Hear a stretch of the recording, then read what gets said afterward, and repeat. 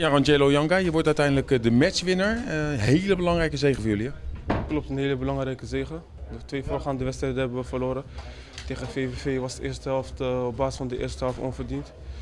En uh, vandaag hebben we lekker drie punten hier gehouden. En was de broodnodige overwinning.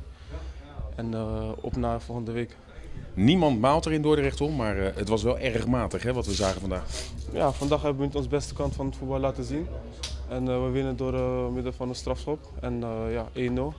Het, is, het zag er niet mooi uit, maar het was wel heel belangrijk. Heeft dat er toch met vertrouwen te maken, omdat jullie zo'n slechte serie achter de rug hebben? Uh, dat weet ik niet, maar uh, natuurlijk als je twee wedstrijden achter elkaar verliest, dan uh, heb je wat minder vertrouwen dan voorheen. Maar ik denk dat we het goed hebben opgepakt, we hebben goed gestreden met z'n allen. En je ziet dat de verdedigers het nu hebben gehouden, dat ze goed hebben gestreden en dat die penalty mooi inschiet. Ja, jij bent in zo'n wedstrijd heel erg afhankelijk van de vleugels, zijkanten, maar er kwam heel weinig vandaan vandaag. Hè? Met name kwam er heel weinig van de linkerkant. Ja, klopt. Niks zat niet zo goed in de wedstrijd. Maar uh, eerste half had hij wel een goede voorzet en toen was ik uh, volgens mij iets te laat. Anders zou ik hem gewoon binnen kunnen knikken. Maar uh, ja, als ze niet in de wedstrijd zitten, zie je dat ik ook lastig heb. Dat ik weinig ballen krijg. Maar gelukkig dat Alban een mooie actie maakt en dat hij onderuit wordt gehaald. Dat ik een penalty kan erin schieten. Ja, want penalties nemen kan je ook, hè? Feilloos in de hoek. ja, hij zat er mooi in. Ik oefen er door de week altijd op met Rob.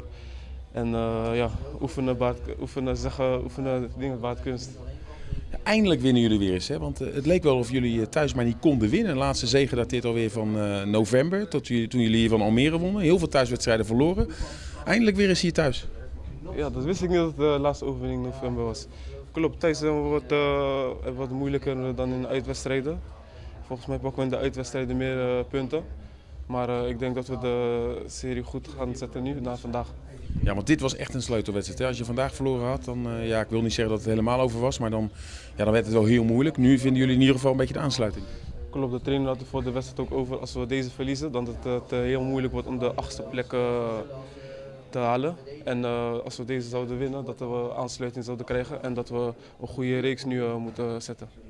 Je bent een matchwinner, hoe voelt dat? is dit lekkerder dan 4-0 winnen waar je, waarin je niet scoort? Ja, dit, is, dit voelt heel lekker. Ik ben de wedstrijd Ik heb, we hebben één gewonnen en ik ben de doelpuntenmaker. Maar de zege is het belangrijkste.